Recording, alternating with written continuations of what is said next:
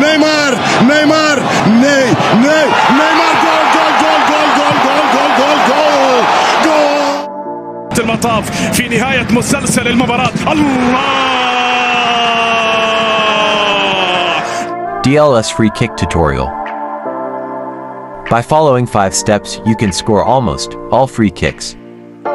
Number 1. Never take free kicks with goalkeepers or defenders, because their shoot rating is comparatively lower than strikers and midfielders. Number 2. Take free kicks with the best shoot rated striker. We are, we are reaching for the stars. but we're Number 3. Shooting by position. And I want If the free kick is on the right side, shoot with the left-footed player. And if the free kick is on the left side, shoot with right-footed player. Number 4. When should we take a free kick? When there are 3 to 5 players inside the wall. It is better to take a free kick. But when there are 2 players inside the wall, it is best not to take free kicks. Then it would be better to pass the ball to head.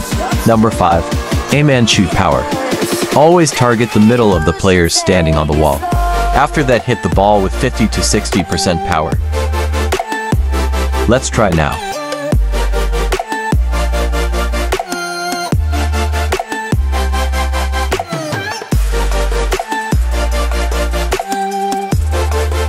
Thanks for watching.